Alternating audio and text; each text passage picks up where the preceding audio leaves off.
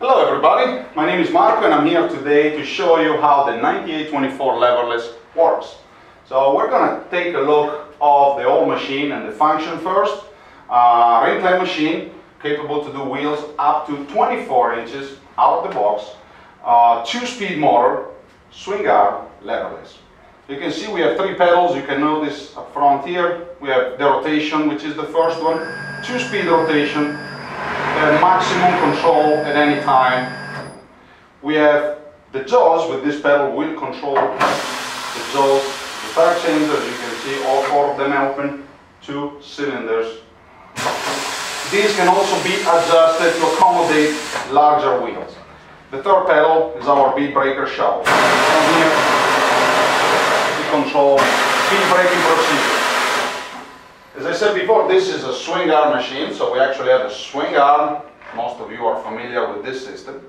Uh, on this machine, uh, we utilize a leverless system. So as you can see from this we can control, this will be your pry bar during the whole procedure.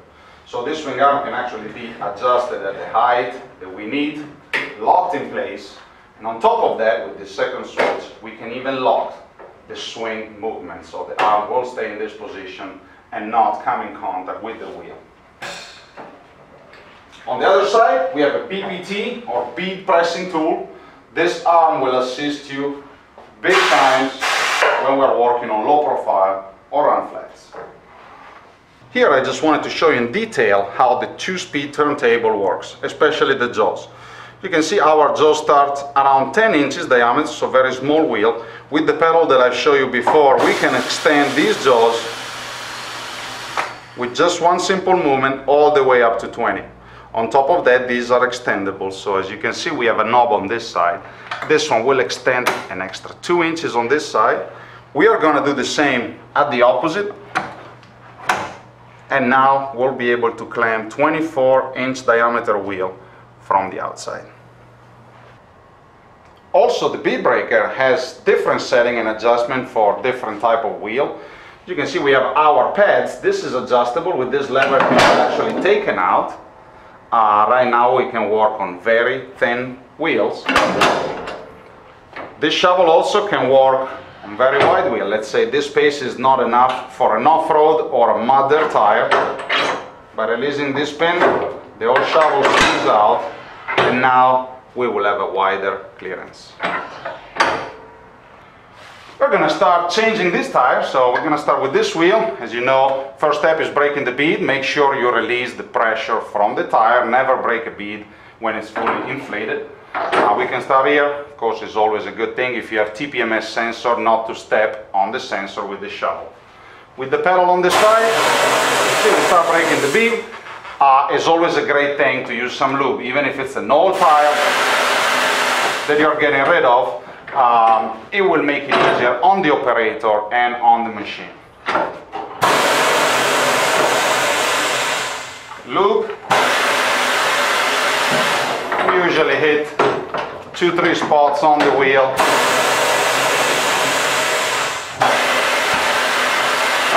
We're gonna do the same on the other side.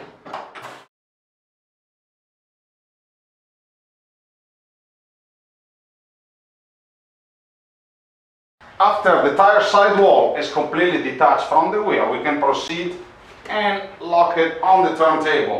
We manually center it. Once it's in place, again, with one pedal, the wheel will be locked in place. Once the wheel is locked in place on the turntable, it's now time to set up the leverless head. So we're gonna swing the arm in.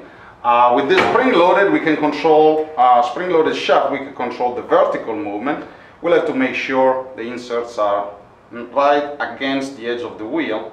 With this handle, we will lock in place the vertical movement. With this switch, we can now lock the swing arm. So as you can see, the arm is not opening right now.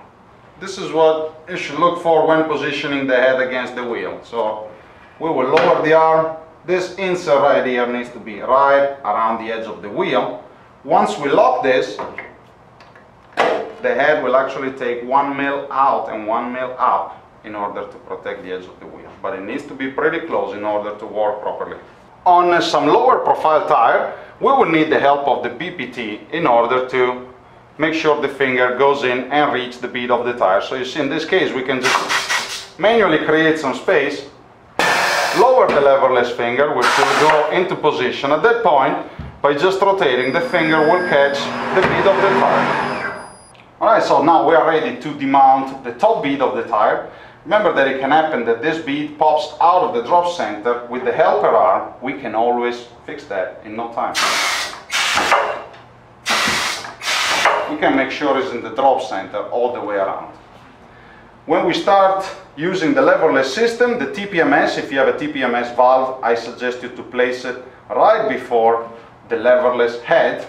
At this point, we can hit the switch that will raise the bead. So basically, this does the job of your usual pry bar. At this point, we can start rotating first speed normally.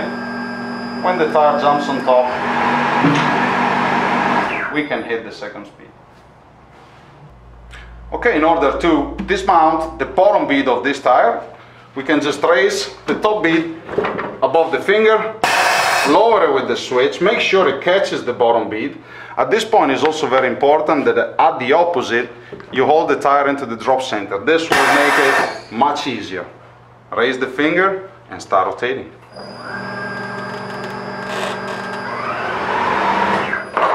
We're going to proceed and mount a new tire. You would swing the arm in all the way against the wheel. Once we lock it again, it will have a safe distance from it. And you would place your tire right now how you would place it on any regular tire changer. In an angle on top of the tail of the demount head and underneath the mobile finger. Bottom bead is now mounted. We're gonna do the same for the top one. So just making sure we are on top of the tail and underneath the finger. Our sensor ideal position would be here and the BPT that I really like for this kind of wheel because it's a huge help. So instead of using a pry bar, potentially scratch the wheel, can just use this foot that will keep the tire in place during the whole procedure.